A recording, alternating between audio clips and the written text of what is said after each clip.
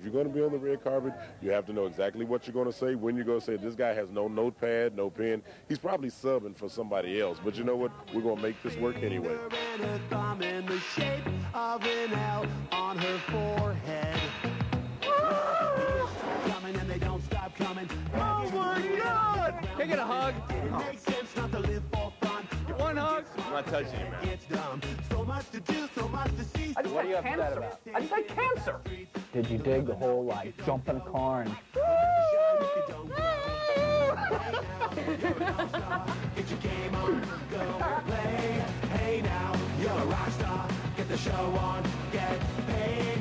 I am looking forward to seeing you run across the bases more than anybody. right now, are you living your dream? No. This here sitting with you is my nightmare.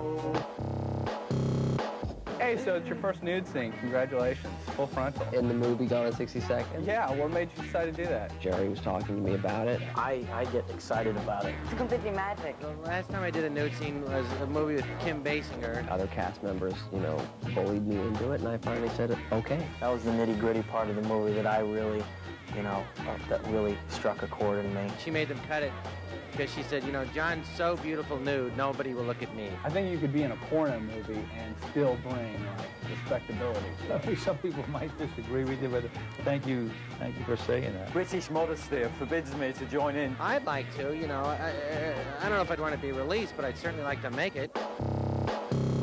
I was really excited about this interview, but now I'm feeling sad. Why? Uh, am I not funny enough?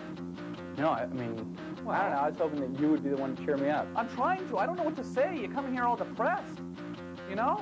I can't be responsible for you and your mood. Why does everyone always come to me to cheer them up? I don't even know you. I don't even know you. I don't even know your name. Tyler. Hi. Hey, nice to meet you. Nice to meet you too. Um, okay, I honestly I don't have any questions. Really? Yeah. Um, yeah, because they've given me 15 minutes, so we can. No, they haven't. Whoa, whoa, are you kidding? Sure, they have. No, no, we got five. No one told you. You have any questions? No, it's okay. No, don't. I don't have any questions. Yeah. And not because I'm irresponsible. I can see that. That's pretty, you know, clear. What do you want to hear? What do you want to hear? Why'd you wear that shirt today? Uh. Are you ready to be like a gigantic sex symbol? How do you keep someone's adrenaline out for that long? Are any of you guys into the anal thing? Do you get a bit of like an attitude complex? Were you cute in high school? Now what about making out in the ocean? Can you somehow give me like part of your brain? Do you ever fear for your own sanity? What's the deal with being a screw up? this is like needs to like have in checkness.